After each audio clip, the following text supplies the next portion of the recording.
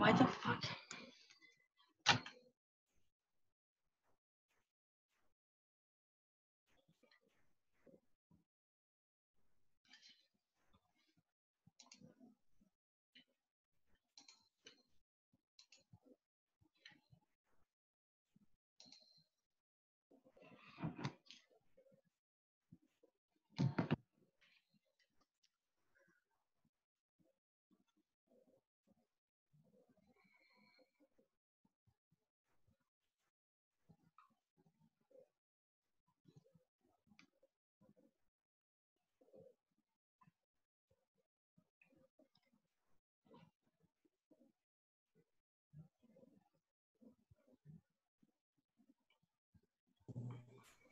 Hello, everyone.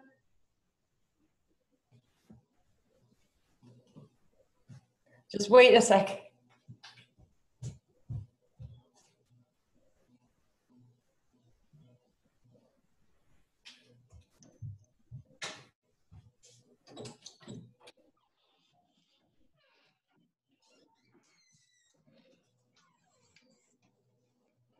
Hi, Cooper. Hi. Hi, Austin. Gianna, hi. Hi, Michelle.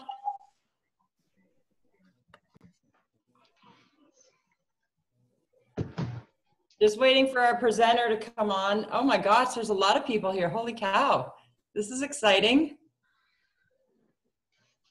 Is, I don't see Terry Kerns on here yet.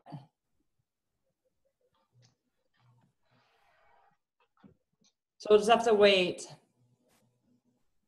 And I think Samantha is coming as well. Samantha, are you Partnership Carson City?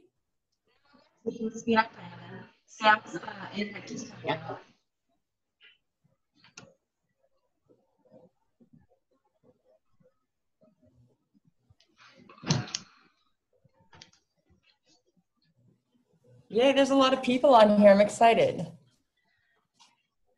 So I'm just waiting for Terry. Um, Terry Kerns is our guest speaker tonight. She'll be talking about the opioid crisis. So um, I'm just kind of waiting on here for her.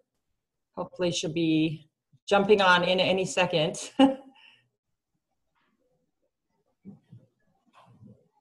How's everyone doing? Gianna, did you get my email about the drug project? No, but I figured it out. Okay, good. Austin, I see you and your mom there. Good job. Wonder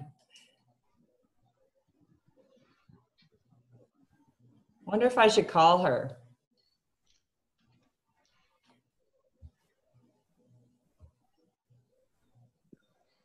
Just a second. think you should. Pardon? I think you should. Yeah, let me do that. Well, thank you for all coming.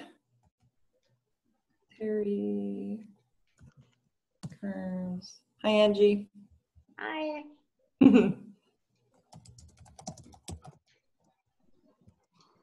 I didn't see any of my students on there yet. oh, they'll show up. They better. Hmm. I know Samantha emailed her today and we've been talking all day long, but I don't, don't see her on there yet. Oh, yeah, she just joined. Oh, good. Yay. Hello, Terry. Oh, she's just joining right now. hmm Okay.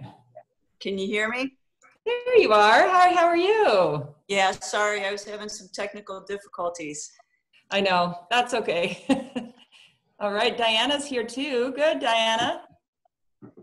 So um, I want to welcome everybody to tonight's family engagement series, and it's in partnership with, um, or it's in conjunction with Partnership Carson City and Carson High School, as well as um, COVID-19. Um, so we have a couple of presenters. One is Diana, and she works with Partnership Carson City, as well as Terry Kerns, and I'll introduce her, but I'll let her go more in depth into her her role and her job. But she is with um, the Attorney General's office, and she has um, been appointed the opioid task force. So she'll be talking to you guys tonight about opioids, what they are, and the dangers of them, and possible um, use during this lockdown that we're all in. So um, I think we'll first start with Diana.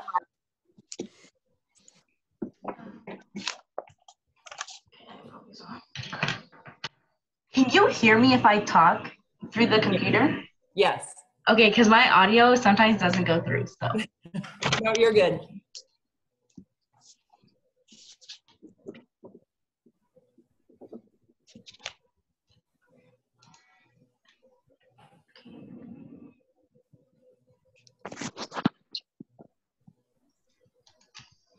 So while Diana's pulling it up, if you have any questions down at the bottom of your screen, there's chat. If you kind of hover down there at the bottom and you have a question, you can type it into chat. Um, reactions, you can also raise your little blue hand there or you can wave too. So if you want to do that, you can, but that will be at the bottom of your screen. okay, can everyone see my screen? Yes. Okay, I'm gonna leave it just like this because if I go into slideshow, my computer will completely freeze. So I'm just gonna go ahead and do it like that. Perfect. Okay. Um, I'm gonna go ahead and get started. Um, so my name is Diana Alonso and I'm with Partnership Carson City. I am their Hispanic Outreach Coordinator and Community Health Worker. Oh, see, it's gonna freeze. Uh-oh.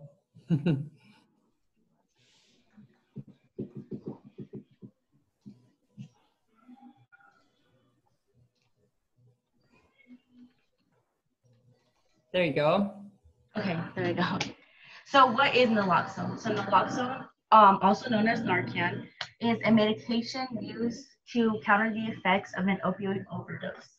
So naloxone only works if the person has opioids in their system. If they don't have, if the opioid is absent, then it doesn't work. So for example, if someone um, maybe is overdosing on maybe a different kind of drug, but not an opioid, so such as like heroin, um, prescription pills, um, then anything without the opioid wouldn't work. Um, and then naloxone has no potential for abuse. Um, naloxone can be injected in the muscle, vein, or under the skin, or sprayed into the nose. Um, the most common way you'll see it is the nasal spray. Um, a lot of people don't feel comfortable injecting something, um, so the nasal spray is the only way to go. So the first thing you want to do is check for response. So give the person a light shake, say the person's name, give them a firm um, stern rub. So that's if you like make your hand into a fist and then the knuckles you rub kind of like on your chest, like the muscle. Um, if you do it like now, it doesn't feel very pleasant. Um, if the person does not respond, so they don't wake up, they don't stay awake, um, go ahead and administer naloxone and then call 911. So you remove naloxone from the nasal, you remove the nasal spray from the box. Um, so that's what it looks like. You peel, it's in a little um, tub, so it's completely like secure and everything. Um, you hold the nasal spray with your thumb on the bottom, and then you just spray it as you were um, it's kind of like the flu shot. If any of you have ever gotten it like through the nasal spray, it's the same thing. Um, don't test the device. It's a one-time use. So if you like spit out half of it, then the other half the person gets to use. Um, and then you just put it in through one nostril. Um, and then what to do after um, you administer naloxone. So you continue doing chest compressions or rescue breaths. If you do not have a face mask, do not give rescue breaths. They're okay if you do just chest compressions. Um, we say that for your safety and your safety uh, is a priority in this. So if you do have a mask and you feel comfortable, you can go ahead and do rescue breaths. Um, and then if not, go ahead and do chest compression. And then if you don't have a reaction within two or three minutes, um, or that person stops breathing again, you can go ahead and give them another dose of naloxone. Again, you can't overdose on naloxone. Um, and something I will add, um, most people ask if they should refrigerate it or what kind of temperature they should leave it at. Don't put it in the fridge because if you give someone the naloxone that's been in the fridge, all you're going to do is give them really bad brain freeze and it's not going to feel pleasant. Um, again, don't leave it in a super hot, like hot car. If you're in Arizona, don't leave that in your car. If something's going to melt, it's it's going to melt it. Um, if you do need to walk away for whatever reason, go ahead and put them um, in this position. So you're gonna roll them to the side, use their hand as support, and their knee from their their knee stops the body from rolling onto their stomach. And we do this um, as a as a prevention method. Um, that person chokes on their own vomit. Hannah, this is Hannah. I'm really sorry to interrupt, but I think we have a couple people who need to mute themselves because we are picking up a little bit of background noise when you talk. So it looks like we have Angie that might need to um, mute herself and someone else. So if you all could just go ahead and check, make sure you have a line going through your microphone. Um, it might reduce some of that echoing if you're hearing that when Diana talks. Perfect. Thanks, Hannah. Um, so where can I get naloxone? So you can always get naloxone um, with us at Partnership Carson City. Um, that's 1925 North Carson Street. Um, you can also get at your sheriff's department. So the Carson City Sheriff's Office has it, and then your prescription drug roundups. We do those twice a year. We normally do one in April, but unfortunately, um, due to um, COVID-19, we're not able to have one this year. So hopefully we'll make something up and do something just local here. Um, and then we'll do the other one hopefully in October um, as planned. Um, yeah, does anybody have any questions? And that's all my information. Again, my name is Diana.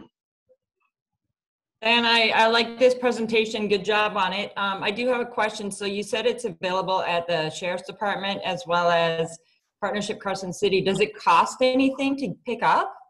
It does not with us. You can also get them at pharmacies.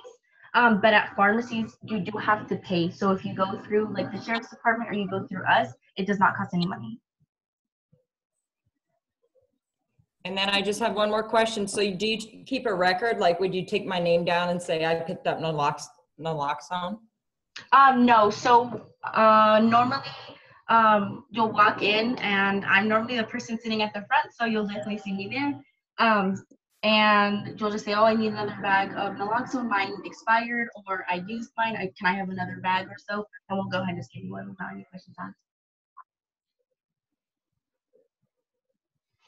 So I thought it was only available by prescription. So I'm confused as to, you know, how you guys are giving it out.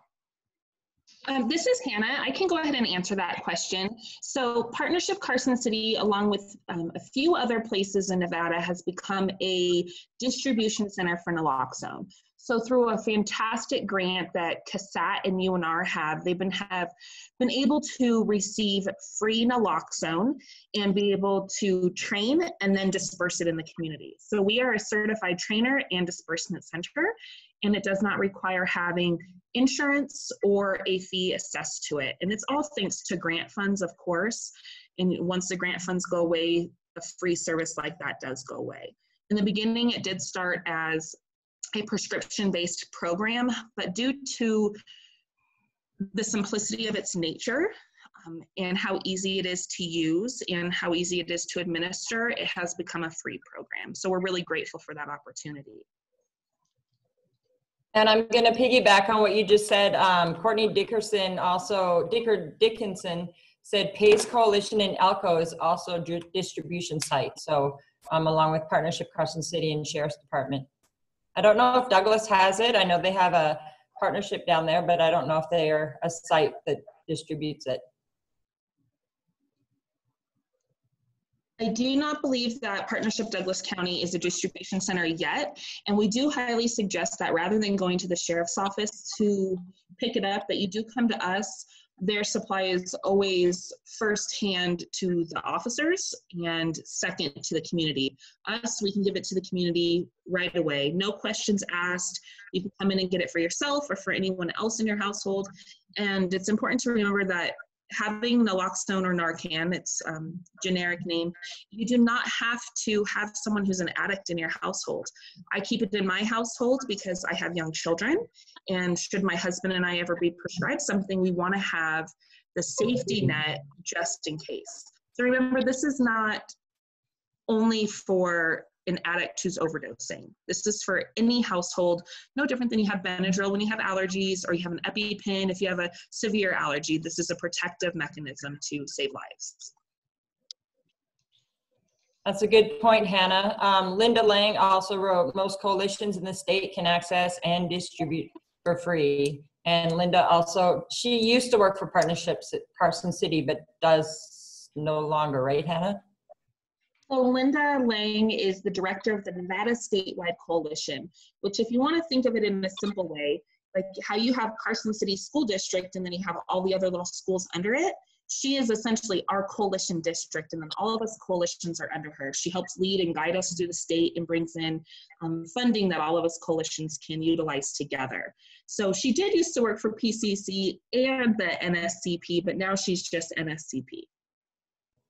Thank if you you. ever have questions for other counties and you don't know who to reach, she is your go-to woman. Awesome. I know she does a lot of good work, so thank you, Linda. Um, we do have another question in the chat. Since repeated snorting of drugs leads to damage of the nasal lining, does this affect the efficiency of or efficacy of the nasal spray of naloxone? Um, no, it doesn't. I believe um, the only thing the naloxone needs is it just needs to go into the airway. It just needs to be breathed in. So whether it's damaged or not, it just needs to be um, breathable in.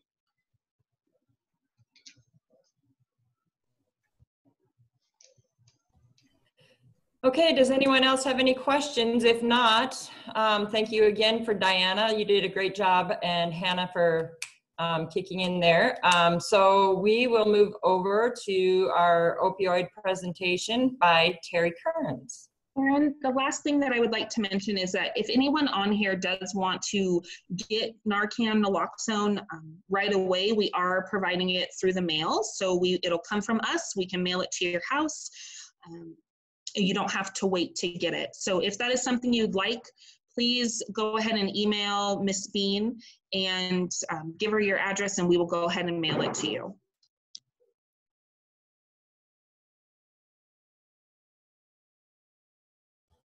Okay, so thank you, Hannah. Um, and Terry, are you ready for your presentation? We're, we're so happy to have you, so thank you very much. Sure, no problem at all. Um, I'll introduce myself in just a second, but I wanted to add something to the conversation on the uh, needing of a prescription for naloxone. So within our state, two legislative sessions ago, a couple of different legislations were passed. One was, it's known as Assembly Bill 474, which is the Prescription Drug Monitoring Program, and then also the Good Samaritan Drug Overdose and Act.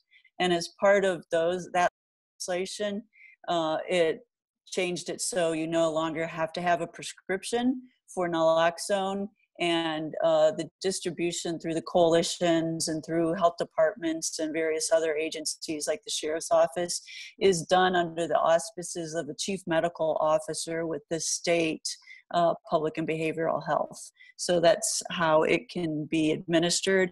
And additionally, as part of that legislation, it was also say that my physician prescribes me an opiate over an opiate prescription I can also have someone in my, uh, like my significant other or someone in my house who can get the naloxone in the event of an accidental overdose as well. So I just wanted to add that so that everyone knows legislatively how it is that we can now have uh, naloxone without a prescription. My name is Terry Kerns, and uh, as I was introduced previously, I do work for the Attorney General's office here in the state of Nevada but um, my position is grant funded through some of that funding that uh, Hannah talked about. And it's through funding from the Department of Public and Behavioral Health. And my background is I was a practicing nurse for 11 years, almost 11 years. And then I worked in federal law enforcement for 21 years. So um, public and behavioral health wanted to have someone who, if you will, spoke both languages, spoke healthcare language, and also so spoke law enforcement, so that I could sit in the Attorney General's office and try to get a lot of the programs that are being done from first responders, law enforcement, and public health and healthcare and get um, those going in the same direction. So I've been in the position since October of 2017, and um, and I say my job description is changing hearts and minds. So it's uh, really um, a lot of criminal justice reform, getting law enforcement, first responders to really look at uh, at addiction, not so much as a social um, or a personal flaw, but rather as the disease that it's it is. So I'm going to talk about that today. I'm going to talk about addiction, understanding what the difference between tolerance, dependence, and addiction is. We'll talk about a dopamine and how whether it's opiates, whether it's stimulants, um, how that affects the brain. And then we'll also talk about some of the uh, different uh, statistics with our in our state. And then I want to end it up by telling you some of the things that we have been doing in the state since the COVID-19 uh, restrictions have been put in place. Because um, with both substance use disorder and a lot of the mental health disorders, one of the um, hardest things is isolation and that lack of connectedness. So a lot of programs have been put in place to try to help people that are, are newly into recovery um, or that do have substance use disorders so that they can have the assistance that they need. So one of the things that we talk about is why do we study drug use and addiction? And one of it is, now this statistic's about a year old, but um, it, the use and misuse of drugs in the United States has cost Americans about $700 billion a year. And as we look at that, that's a, a big cost. But the bigger cost to us is that illicit and prescription drugs have uh, contributed to tens of thousands of, of deaths per year, both in our, our state and then throughout the United States. So the problem with that is that someone may initially take a drug and it may be voluntary but um, statistics and studies have shown that most people if they knew they would end up addicted would not have taken that drug voluntarily. And with continued use a person's ability to exert self-control can really become critically impaired and that's really the hallmark of addiction. Uh, brain studies, which now um, our medical professionals do have a capability through CAT scans, PET scans, and other different kinds of scans to image the brain, and that's really made us understand that addiction is a brain disease or a brain disorder. And it really affects the critical areas of the brain that are critical to judgment, learning and memory, and behavioral control. And that really is what leads to that impulsive nature of addiction. So often I get asked, why do some people become addicted to medications and others don't? And it really does differ from person to person. There's really no one single determinant of why one person will become addicted and another person doesn't. But we have found through um, studies that the more risk factors a person has, the greater their chances of taking drugs will lead to addiction. And then the more protective factors that someone has, it really reduces that person's um, chance of becoming addicted to drugs. And some examples of risk factors, and then the, the opposite protective factors that we see are a risk factor is aggressive behavior in children. A protective factor is good self control. A risk factor is lack of parental supervision, and a protective factor is parental monitoring and support. A risk factor is poor social skills, and a protective factor is positive relationships. A risk factor is drug experimentation, and a protective factor is someone who uh, achieves to get good grades. Another risk factor is the availability of drugs at school and a protective factor is school anti-drug policies. And then the last one I want to talk about is a risk factor is community poverty versus a protective factor of having uh, great neighborhood resources such as uh, partnership uh, Carson City. So one of the things that we found is through not just the brain imaging, but also through genetic um, testing Um, a lot of you are already familiar with genetic testing, whether it's uh, ancestry or like uh, uh, 23andMe. Both of those do genetic testing, and uh, you know that can tell you about your background, can tell you about predisposition for certain diseases. But they also look at that genetic um, makeup, and there are people that have a certain genetic makeup that make them more prone to becoming addicted, and part of that is um, their genetic code, but it's also how they respond to that dopamine that we'll talk about in the brain.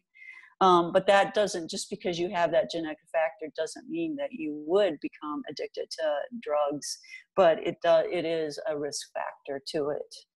Um, there is brain imaging, and what they found is that that certain genetic types will uptake dopamine in the brain a lot easier than other genetic types. So that's one of the things that we see.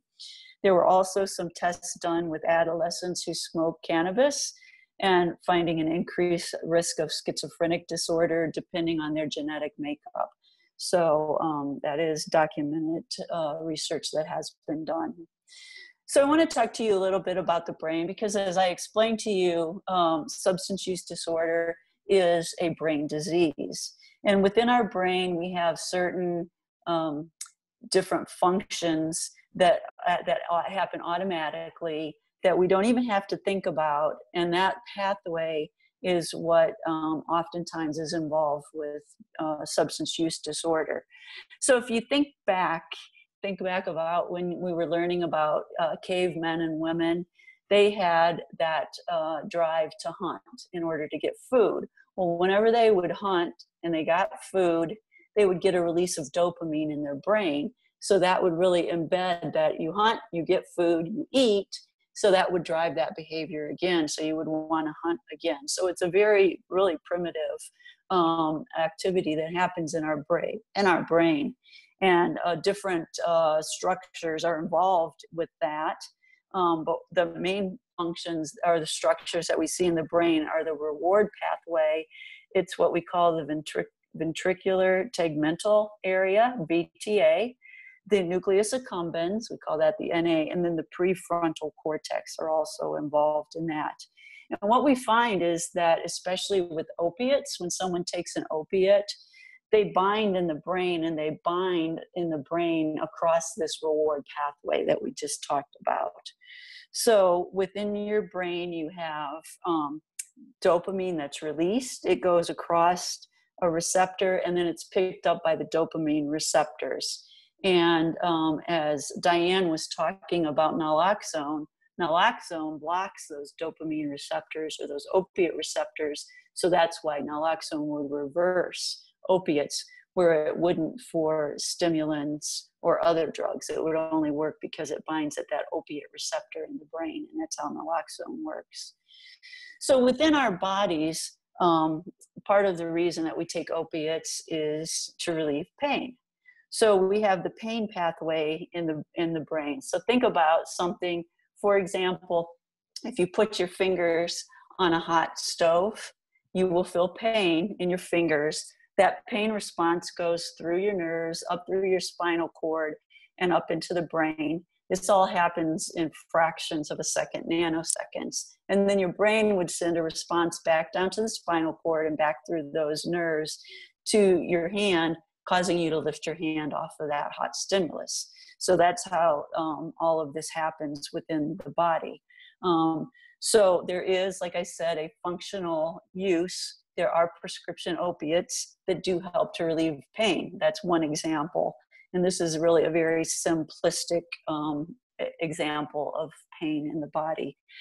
But there's bind, binding of opiate and opiate receptors that we talked about in the brain. And that's what really causes those side effects. So, depending on the side effects, um, the worse they become, that's what causes what we call an overdose. So, you have mu receptors in your body, and these are in, in the skin, in your organs, in joints, they're all throughout your body. And they call that cause that analgesic effect, which we want. That's a good effect of, of opiates, for example. but they can also cause tolerance dependence, which, which we'll talk about later, constipation, nausea, and vomiting. Some people can't take opiates because they get nausea and vomiting. And then the really bad one that leads to the overdose is respiratory depression. And that also is seen in the delta um, receptors that are throughout the body, is that uh, side effect of respiratory depression. What we found is that back in the late 1990s, um, there was prior to that time, most prescribers were pretty uh, stringent in prescribing opiates to people because of the high potential for addiction. And so in the 1990s, uh, pharmaceutical companies started, um, said they had studies that showed that uh, opiates were not as addictive as what we thought, and they did a hard press um, push with prescribers to increase the prescribing of opiates. So in 1999, we started seeing an increase in the prescribing of opiates for pain. And subsequently, if you look at the line, I know I don't have the presentation up for you, but if you looked at the line underneath that, you see prescriptions being increasing, increasing from 1999 to present day. You also see a parallel increase of overdose deaths from opiates. So um, that was the unfortunate part of the increased prescribing. Uh, there is that potential for addiction that we have found. So we'll talk about tolerance, dependence, and addiction and the difference between those three because there is really a significant difference. Tolerance is a state in which an organism no longer responds to a drug, and you need a higher dose of that to achieve the same effect. So I know myself, I'm a coffee drinker. I need my cup of coffee in the morning. You can get caffeine, whether it's through uh, coffee or energy drinks, those sorts of things. We take that first uh, drink of coffee or those first cups in order to really um, give the effects. It's a lesser effect than what we see with opiates, but it does give you, picks you up a little bit. So if that one cup of coffee doesn't do it for us anymore in the morning and we start to need two, to three to four, that's an example of tolerance that you see. Um, and tolerance does affect the brain. It affects the brain area. I told you that VTA, ventricular tegmental area, over to the nucleus accumbens. That's where the interference occurs in the brain, where we need more of whatever that drug is, whether it's uh, caffeine, opiates, stimulants, whatever it is, to get the same effect. So that's tolerance. Then we go into dependence. Dependence to a drug is a state in which an organism functions normally only in the presence of that drug. And if you take that drug away, again, whether it's caffeine, nicotine, opiates, whatever, if you take that drug away, there will be physical disturbances when that drug is removed, and that's known as withdrawal. If anyone's ever tried to stop taking caffeine, you'll notice you get a little jittery, you get a little anxiety feeling, and that is an example of withdrawal. It's much less in caffeine than what it is in opiates and other stimulants, but that is dependence, and that would be uh, the withdrawal that you would feel. So now there's two areas of the, the brain that are affected with um, dependence. We talked about that VTA to nucleus accumbens. That was the area of the brain that's affected with tolerance. Now that same area is affected with dependence, but also uh, part of the brainstem is also involved. So we now have two areas that are affected in the brain when we move from tolerance to dependence. And then when we go to addiction, addiction is, is described or defined as a chronic relapsing brain disease that's characterized by compulsive drug seeking and use despite the harmful consequences. And it is considered a brain disease because, as I told you, it does have the effect in the brain. And those, tra- those changes in the brain can be long lasting and they can lead to harmful behaviors. So now, with tolerance, we had the one area, the VTA to the nucleus accumbens, that was affected. With uh, dependence, it was that VTA to nucleus accumbens and also the brainstem. And then with addiction, you also have those two areas that are affected, but the prefrontal cortex. And what that prefrontal cortex does is it now embeds memories. So, like I use the example of cavemen that would hunt and um, they would eat, they'd get the release of dopamine, and then they would remember that. That's where that happens, is that free prefrontal cortex in the brain. So um, now we have basically accelerated to changes in the brain.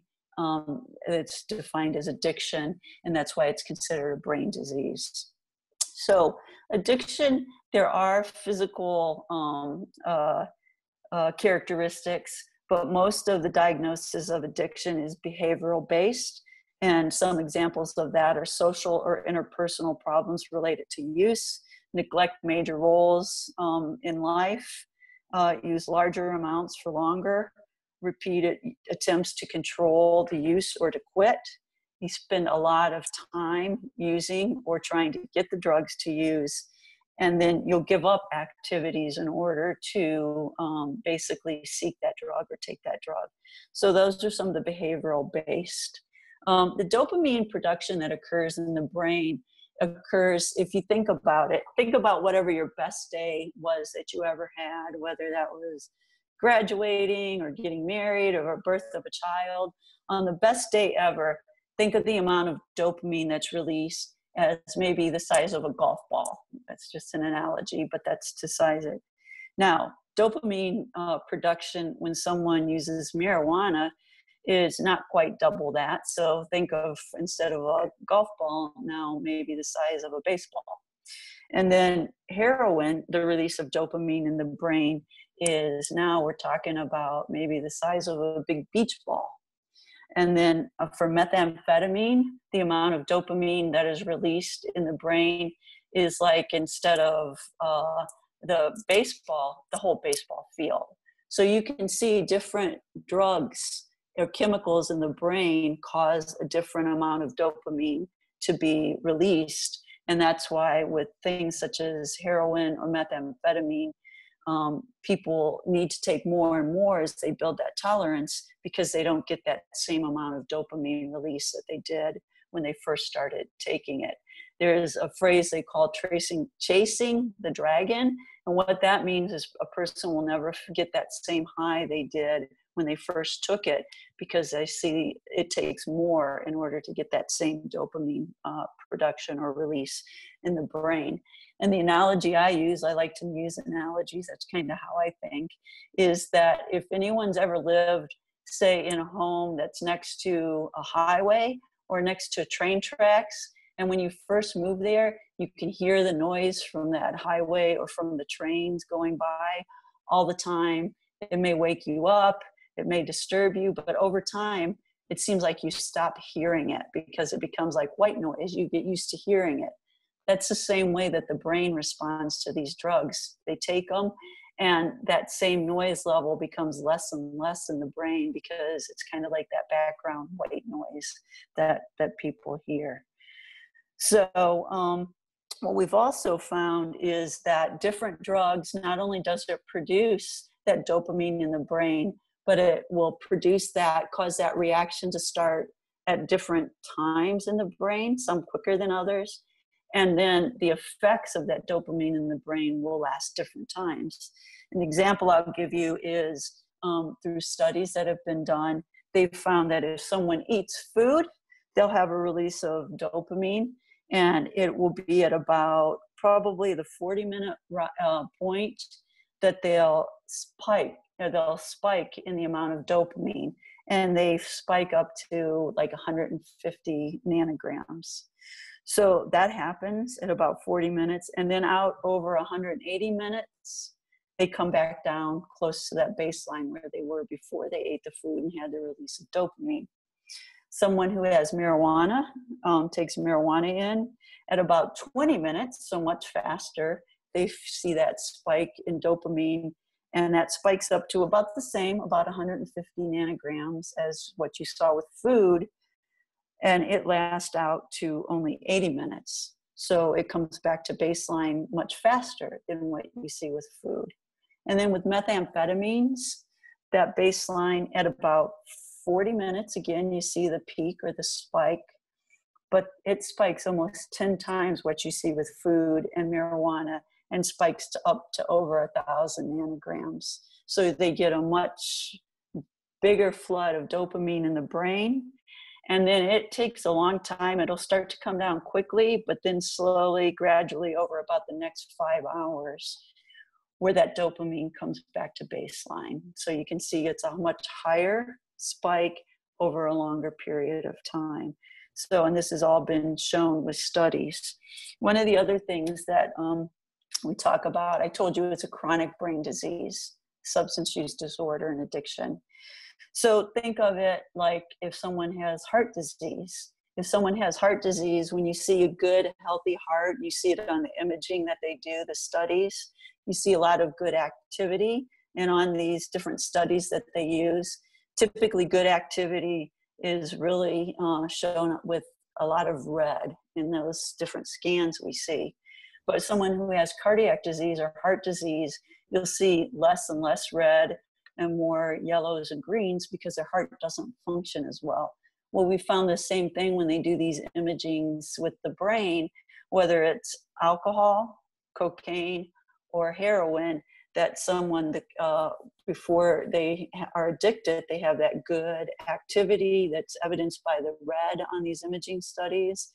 But as they get into chronic use and become addicted there's really not much red activity um, and it shows a diseased organ or a diseased brain just like in heart disease and you would see that same thing so Terry, Terry, um, we had a question. Austin has a few questions that he's put out, but I think he just answered um, Austin's really good question.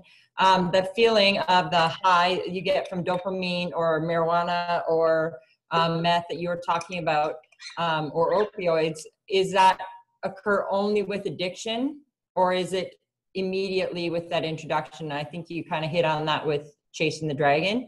The second question he had was um, can people get the same high from food and marijuana when they have a certain amount of it? Uh, so they'll get a high, but it will not be the same high as what you see with methamphetamines or with opiates. It's a much higher because you have significantly more, like I said, about 10 times more release of dopamine, where you would never have that same high release of dopamine. It would be about 10 times less um, from what you would see with food or marijuana. And um, along that same line, there are a lot of people in this state, in Carson City, in the United States, who are chronic pain patients who are on prescription opiates, for example. Those people may never ever go to addiction.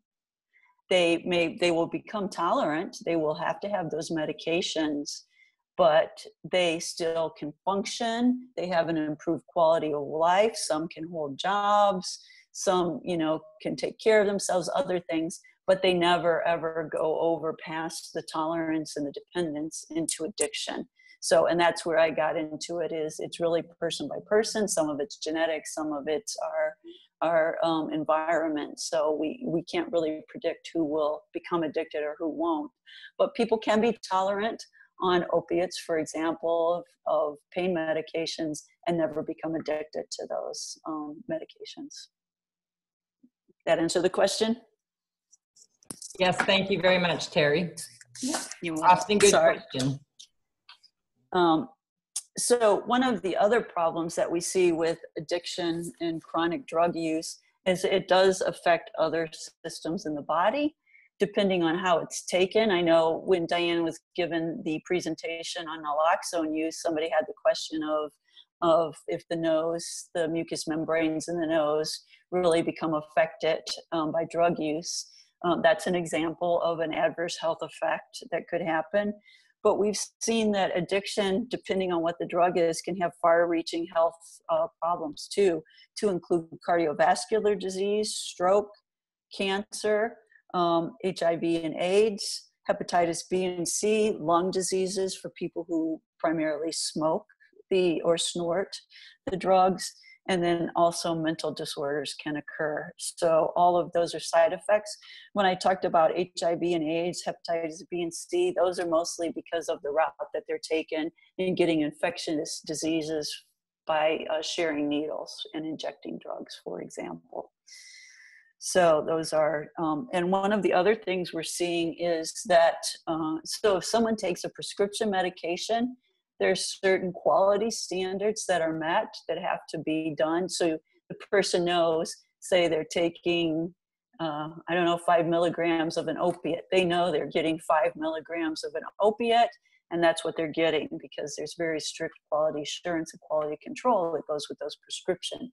But on street drugs and illicit drugs, there is no quality control.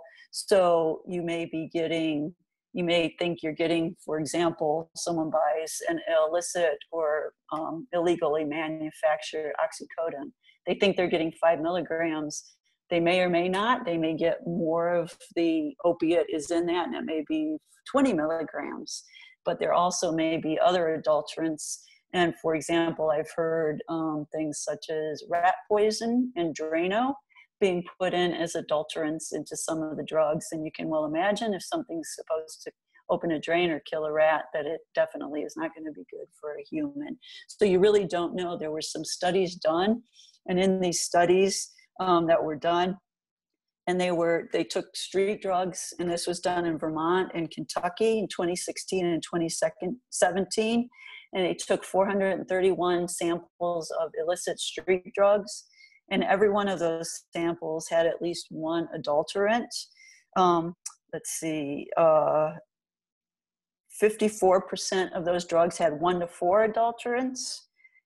Uh, 31% had five to eight adulterants and 15% had nine or more adulterants so um, these adulterants or mixing agents or cutting agents that were in with these drugs, the people didn't even know what they were getting. And I'll give you one of the examples, and we'll talk a little bit more about this um, as we go on. Is there's a drug called fentanyl out there, and fentanyl is um, being found more and more in drugs uh, throughout our state and also throughout the country. But we'll talk about why that becomes important later.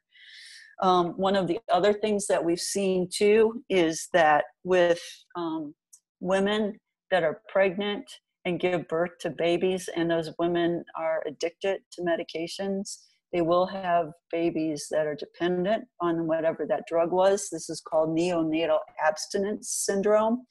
And in studies that have been done with babies that are born with neonatal abstinence syndrome, we talked about the genetic predisposition. Now, obviously, a newborn, it wasn't their choice to take the drug, so there's not any of those uh, risk factors that we talked about. It's a lot genetics.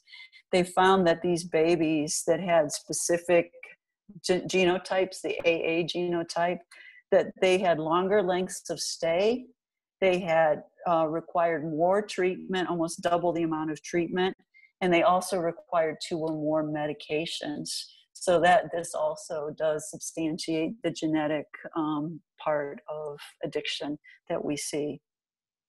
Um, I'm just going to piggyback on that, um, Terry. Samantha, who also works at Partnership Carson City, um, referred back to naloxone and said um, it is not recommended for pregnant women. Probably for the same reasons that you just talked about and the newborn babies. So.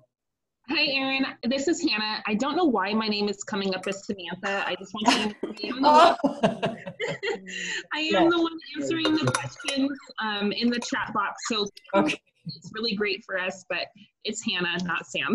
Okay, sorry. okay. Sorry about that. Right.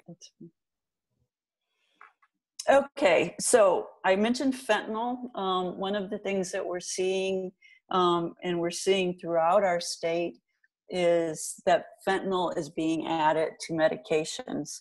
So I want to talk a little bit about fentanyl and why that is concerning and worrisome to us for a lot of different reasons. Um, the way that that uh, opiates are basically determined off their strength is what they call a morphine mill equivalent. So you'll hear MMEs. So um, heroin, for example, would be, say, a 101, a morphine mill equivalent to morphine. But with fentanyl, so think of heroin. If someone had heroin, if you went to a restaurant and you got one of those little bags of sugar or stevia or equal, that would be let's say, a morphine mill equivalent amount of heroin. If they had fentanyl, if you took just maybe a tenth of that bag of equal or sugar, that is how much fentanyl would equal the same amount of, of for that morphine mill equivalent. So you need much, much less of that drug to have the same potency, is what I'm saying. So if someone bought a medication or bought, I'm sorry, an illegal drug and they thought they were getting heroin at such a strength and it was really laced with fentanyl, they would be getting like a hundred times the amount of what they thought they were getting because fentanyl is so much stronger. Fentanyl does have a medicinal use. The Drug Enforcement um, Administration does have what they say schedules of drugs. Um, fentanyl is a scheduled drug because it's of its high um, potential for addiction, and um, but it's used primarily if anyone's ever had surgery and had to go under anesthesia. Oftentimes, anesthesiologists will give fentanyl. For one, it's for pain control. For two, it also is what they call an amnesiac, so that if you do did have pain, you may forget about that pain. So it does have a medicinal purpose. We do use it. Fentanyl is also used oftentimes for, um, let's say, hospice patients, someone who's um, close to death, to relieve their pain. So we do have a medicinal purpose for fentanyl. The problem is with some of the fentanyl that we're seeing, it was manufactured illegally in labs somewhere outside of the United States and brought here. So we don't know, again, that quality assurance isn't there on it. So if they made a whole batch of fentanyl, there it may be way a lot more of the fentanyl potency in one part of it and less in another. So we don't really know what the potency of that illicit fentanyl is as opposed to the pharmaceutical grade fentanyl. And then recently, we've found another drug um, that's throughout the United States, and it also has been seen here in our state, is carfentanil. Carfentanil, so if I use the analogy of an equal packet or a sugar packet for heroin, and then you took a tenth of that, would be the same potency of fentanyl. For carfentanil, you would take one grain of that, and that's how potent it is. For the DEA scheduling of carfentanil, there's no medicinal use in humans for carfentanil. However, there is a use for carfentanil in veterinary medicine. And the layman's term uh, for what they use carfentanil for is it's called an elephant tranquilizer. So you can imagine if it took an amount of carfentanil to basically anesthetize or tranquilize an elephant, if a person took that same amount, it would likely kill them because it's so much more potent. So that's why we're so concerned that these drugs, because someone doesn't even know, oftentimes they're getting this fentanyl or carfentanil, and they're taking the dose of the drug that they normally would take, and they're getting 100 times that with fentanyl or 100 times fentanyl with carfentanil. So it becomes very concerning to us. Um, one of the things that we're seeing, the trends that we're seeing, especially with opiates right now, is that originally it started out with prescription drugs. The prescription drug use is really starting to come down because of um, a, a, number of reasons, but um, because of that legislation I talked about with the prescription drug monitoring program we have here in our state, uh, AB 474. So we're seeing it that curve flattening out and actually starting to come down. But what we're seeing is heroin started in about 2011 to really increase. So people uh, were uh, going to heroin for a number of reasons. It was cheaper, or they couldn't get the prescription drugs, so they started using heroin. And that heroin use is starting to level off now. And what we're finding now is that it's really spiking a lot is the use of synthetic opiates and that's those synthetic opiates I talked about of fentanyl and, and carfentanil. So when we talk, uh, you'll hear me use the term opiates versus opioids, and opioid is a natural occurring. So think of it kind of like organic. It's from the poppy seed, and that's what morphine comes from. It's an organic made from a biological material. but opiates are also not only those natural occurring, but synthetic, kind of like uh, genetically modified food that you would eat. They're made in a laboratory. So these synthetic opiates are much, much stronger because they do make those in a laboratory. They don't come from that biological source. So we are seeing an uptick in um, overdoses from synthetics because they're much more available and because they are much stronger. What we all are seeing also now, it's kind of been described of the second wave of the opiate crisis, is that um, one thing I didn't tell you that I meant to that I'll talk about now is that as people become addicted to drugs, because it takes so much more of that and they actually see a decrease in the amount of dopamine that's produced in their brain, they start to have a flat affect. So things that would make us happy, like spending time with our family, going out to a nice dinner, um, getting married, whatever it is, they don't get that same level of happiness because the amount of dopamine, remember I told you, was much, much less from those natural occurring things that we do, that they just don't feel it because it's so low compared to their blood, their brain being flooded with opiates all the time. So you start to see a lot of flat affect, depression, those sort of things. So we started to see an increase in stimulant use. So an increase in cocaine, an in, increase in methamphetamine, those sort of things. So we are now seeing and have started to see a spike in the use of cocaine and overdose deaths from cocaine and overdose deaths from methamphetamine. Part of it is too, we are also seeing those drugs laced with opiates and fentanyl and carfentanil as well. So that's the second wave that we're starting to see from it was prescription drug first use with um, opiates the second wave then was uh, illicit drugs with the heroin and the synthetic opiates. And now we're seeing uh, an increase in overdose deaths from these stimulant type drugs. So um, we've also seen that the number of overdose deaths in the United States outpaces the increase in use. So not as many people are starting to use, but we're seeing more and more um, increase in deaths as opposed to increase in use. In our state, we continue to have a problem with opiates, whether it's heroin or synthetic opiates. But what we're also seeing trends in is the mixing, the poly use. Um, our coroners and medical examiners can't tell us specifically if it's because those drugs were used together or if it's a scenario I described where an opiate was used um, kind of as a downer, and then stimulants were used to bring the mood up, or um, if it's you know and they were used at different times or if they were used at the same time but we are seeing more and more drugs in the system of people who are overdosed. And some of it may be that someone thought they were taking one specific drug but they were getting that drug mixed with something else so on the illicit side of the house.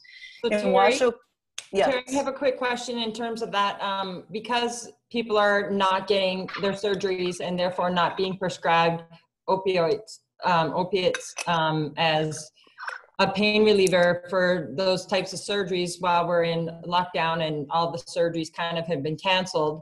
Are people turning more towards the cocaine and the heroin, the street drugs, more so than the opiate, opiate use? Uh, I don't know if we have the statistics on that yet from the lockdown, but I can tell you that we have seen um, a significant decrease in the prescribing of opiates uh, as pain medication in our state since that prescription drug monitoring legislation was passed two sessions ago. And um, so there's some speculation that if people cannot get their pain medications, then they're going to go to the illicit drugs. And we did see an increase. Most people, it's four out of five, I believe the research shows, four out of five people who are addicted to heroin say they didn't start with heroin, they started with prescription drugs first. So although I haven't seen the statistics since we've been on lockdown from uh, COVID 19, I can imagine that we would probably see something similar to that. Um, but uh, going back to the Washoe County um, uh, Medical Examiner's Office provided statistics on drug overdoses from 2012 to 2017. And what uh, Dr. Knight's office found was a 57% increase in drug overdose rates from 2016 to 2017, a 33% increase in opiate related deaths. From 2016, there were 52 to 2017, there were 69. And the most common opiates that they were found that were found uh, upon autopsy were oxycodone, fentanyl and fentanyl analogs, morphine, and methadone were what they saw out of Washoe County.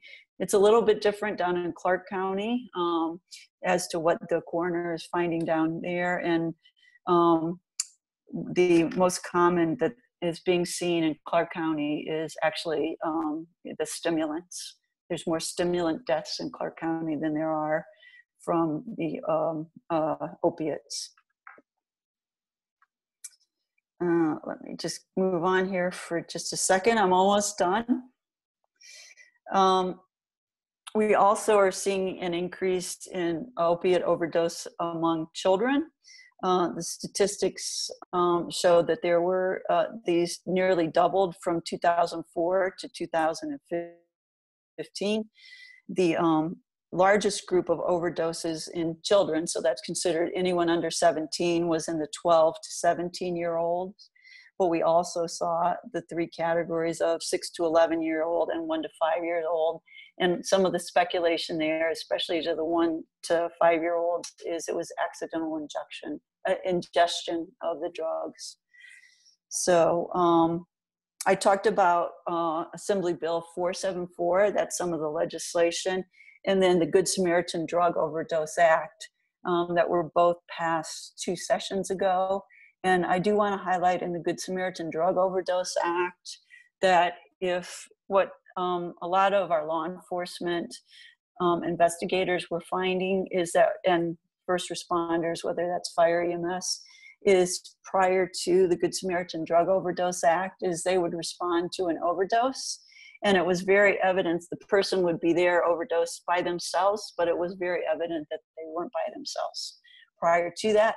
But the people who were um, taking drugs or were there with the person who overdosed would leave out of fear of being arrested for that drug use so the good samaritan drug overdose act made it so that if someone is um, with someone and they overdose if they call 911 and stay with that person uh, they will be not be arrested for drugs. It's not to say if they don't have an outstanding warrant for something else that they couldn't be arrested for that outstanding warrant, but just trying, they would rather um, not look at that other drug use and save the life of that person than have everyone leave and let that person die um, out of fear of calling 911. And then also as part of AB 474 and the Good Samaritan Drug um, Overdose Act, it allows our first responders, um, as was discussed earlier, that Carson uh, Sheriff Office has naloxone, not only to give out, but they have it for their own officers so they could administer it. And um, the analogy that I use with naloxone administration is it's much like CPR. If any of you uh, know CPR, when you went through your training, they will tell you that the sooner that someone that needs CPR gets CPR, the better their chances of survival are. So it's the same with naloxone. If someone has overdosed on an opiate, the sooner they get that naloxone, the better their chances of survival. So when I first started talking to law enforcement about trying to get them to take naloxone, um, they said, we don't need it. EMS is there shortly after us. Typically, EMS is trained to do that. They can do that but um, sometimes a minute, two minutes, five minutes can make the difference between life or death for someone who needs um, that life-saving naloxone. So law enforcement does now carry it. I've talked to officers who have, have administered it, and um, they will tell you that they wouldn't hesitate to administer it now if it can save someone's life. So that's why I say part of my job is changing hearts and minds and trying to get our first responders and law enforcement to think of addiction as a disorder or a brain disease, and then to think of saving lives as opposed to just the criminalization of, of uh, drug use. And then, yes. Anna, sorry to interrupt you. It Looks like Linda Lang has a question for some of the youth, and she'd really like an answer from you guys because you guys know a lot more than we do sometimes. So the question is Do you think youth are aware of the Good Samaritan law? Um, previous to you telling us about it, Terry. And if no, what ways do you suggest that we get that message out? Hannah, I like Hannah, I like that. Um, and I did see Linda's um, question, and thank you for responding to that. I told Linda privately, I guess, that I am going to include that question in my evaluation of the presentation. So everybody that's on here will have to do an evaluation. Um, so I will get that information um, documented and get it to you. But um, Terry, thank you for addressing that because I don't think our students do know that. Yeah. So when I first came into this job and I would go around the state and give presentations, I would always ask the audience, how many of you are aware of the Good Samaritan Drug Overdose Act and that we have it uh, legislated within our state? Typically, I'd get one, maybe two hands that would be raised in the room. So I would say most people don't know about it.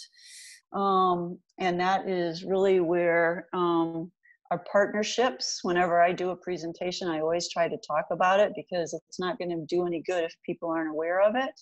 And then out of the great work that the prevention coalitions do um, in getting that out there, I would love, I know there that um, thanks to Mrs. Bean, she allows me to speak to the students, so I talk to them, but I would um, advocate too that it gets added to, to the substance use training that's done in our schools. Yeah, that's a good point. Um, Angie Ma, who teaches at Carson High School, and she's on right now, but she used to teach at the middle school, and she said she used to teach the Good Samaritan Law there. So um, I just don't know how much the middle schoolers' brains take that in and and understand it. But um, I think it definitely is a thing that we should be pursuing, teaching, and adding to our curriculum at the high school level. Yeah, and it's also what allows the first responders to carry naloxone as well for the reasons that we talked about. Um, so, um, and I think, I don't remember if it was Hannah or Diana that uh, discussed the Drug Enforcement Administration's National Prescription Drug Take Back Day, which was supposed to be April 25th. But um, unfortunately, like many things, because of the COVID 19 uh, restrictions, that was, I don't know if I'd say canceled or postponed, but I know typically in October, there is also um, a drug take back day. And one of my big takeaways that I always like to try to um, at, put as a call to action for everyone is to look through uh, your medic medication uh, at home. And if you have medications that you are no longer using, I don't care, not opiates, any medications, I would say turn those in. Um, usually, uh, I know the coalitions will take um, a lot of the medications. Sheriff's offices, law enforcement usually have drug take back receptacles at their offices that drugs can be dropped off at. And um, I highly suggest that if there are medications that are no longer being used, please get rid of those because we would hate to see those on our streets um, um, being used. I've heard stories of, for example, uh, people are selling their home and they're having an open house in their home, and people who aren't even interested in buying the house will come just so they can go through the medication cabinet and steal medications. So, not having those if they're not needed. Um, they also lose their point potency. There is an expiration date on medications, so if those aren't being used or they're out of date, please take them. Uh, some of the pharmacies also have uh, drug take back receptacles, I've noticed as well. So there are ways, and I think the coalitions, Hannah, you can talk about that, have the Deterra bags and have some of the other ways that you can deactivate the medications too. Yes, at, at, our office, we do have um, Deterra, which is an at-home disposal kit. Um, for any of you know uh, Cruz Bolmer, he works for us. He's a senior at Carson High School, and he actually is the facilitator of the Deterra program. So Deterra is just a little tiny bag you can go ahead and put your medications into with a little bit of warm water and it completely deactivates them.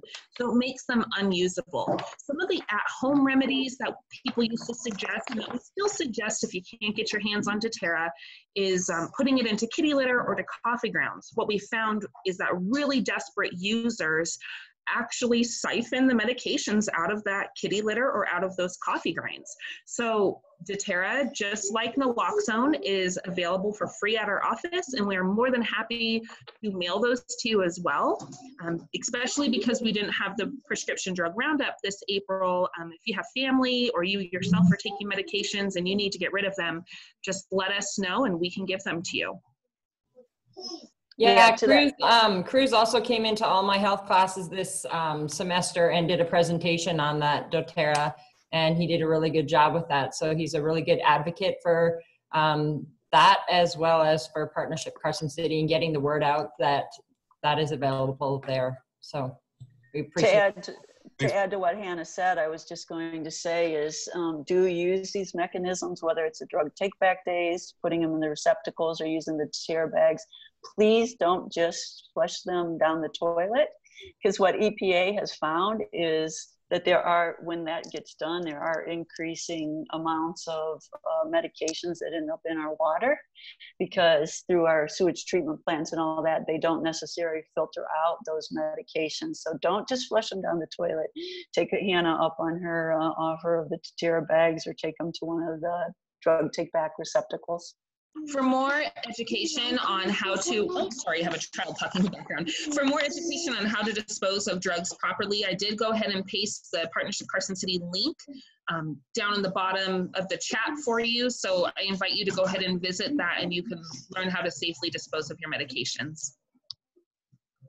Also, I have a quick question, Terry. Um, when people are not like during this COVID nineteen, and we're all in um, social isolation, um, and people aren't able to go to the doctor because they're doing teledoc um, appointments and not getting prescribed drugs.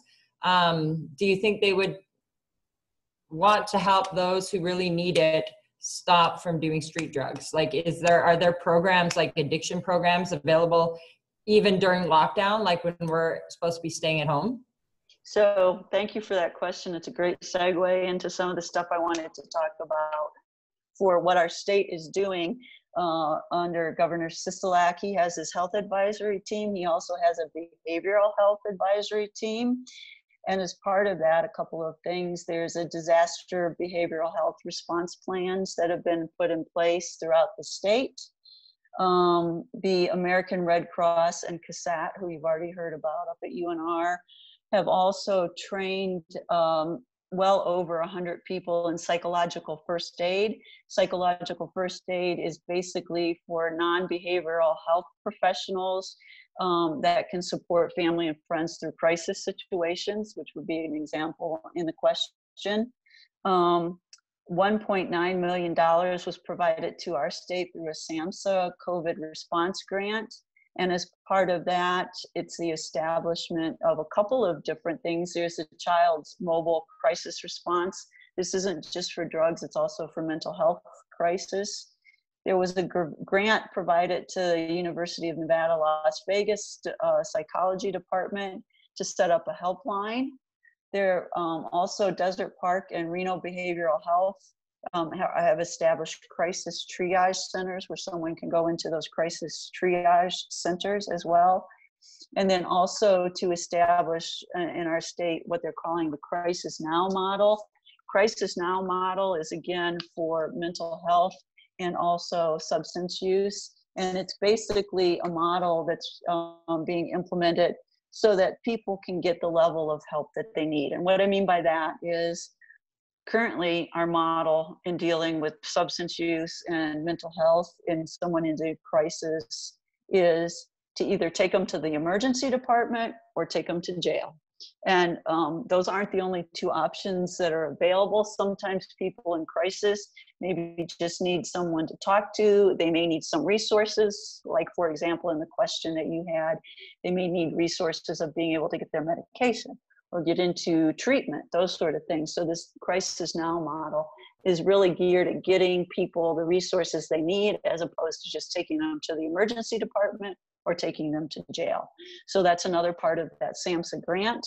Um, also, through our prevention coalitions such as Partnership Carson City, really trying to do so more substance abuse and prevention activities, such as what they did tonight. Um, there's also a PSA that's going to be coming out, a public service announcement. It's called Home But Not Alone, and it will talk about the crisis hotline that's been developed that people can call into. There's also support for behavioral health providers for the use of telehealth and telemedicine. Um, we also, through our opiate programs, we have what we call OTP, those are opiate treatment programs.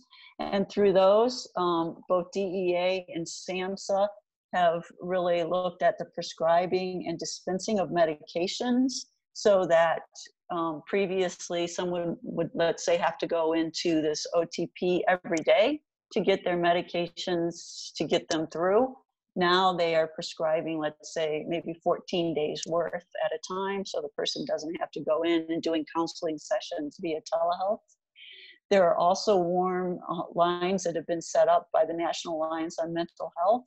Um, and our Foundation for Recovery is providing, they have crisis support too for peer recovery support programs. So this has all been since the restrictions from COVID-19 um, and that things that have been put in place in our state because of this behavioral health advisory team.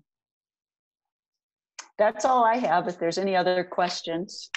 I Um, wanted- Ter- Oh, Go Terry, ahead. I just wanted to ask if you could send me some of those resources that you just um, listed off and talked about, that PSA video I'd like to post in my um, classes, just so they, so that students or their parents or cousins or relatives might um, need that resource. But I, I'm a big advocate for providing resources for students um, Mhm. pertaining to health. So if you could send me that list, that would be fabulous. Sure, no problem. I want to thank you guys for giving me your time tonight and letting me talk to you about this because as I said, I feel like my job description is changing hearts and minds. So I think um, as we are are better educated on all of this, the better job we'll do in responding to it.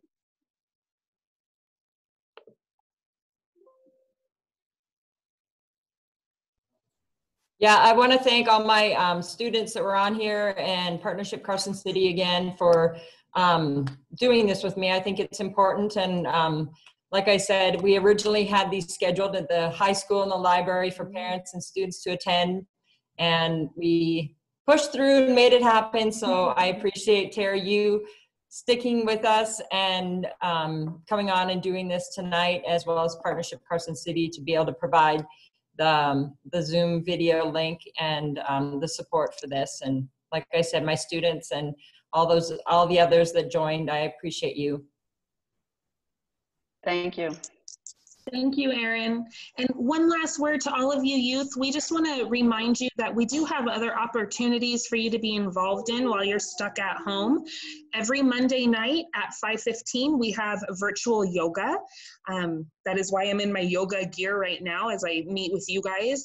It's really wonderful. A lot of people are on it. You don't have to be on video. Um, and the link is on our website and our Instagram. So please go ahead and join us. It'll be really good for your minds, your bodies, um, you know, and for your family too. And that virtual yoga also is awesome because they record it. And so when I get up in the morning at 5:30, I jump on and I do the yoga in the morning in my living room. And I I just can't do it on Monday nights, but it's recorded, so it's a good um, good way to exercise your body and breathe.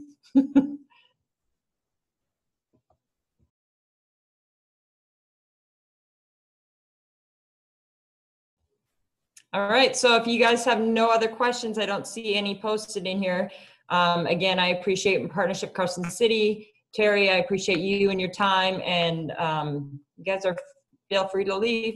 If you have any other questions, go ahead and email me, and I'll get those answered, or I'll send them to Terry or Partnership Carson City. But thanks again for coming. Thank you. Stay safe and well. You too.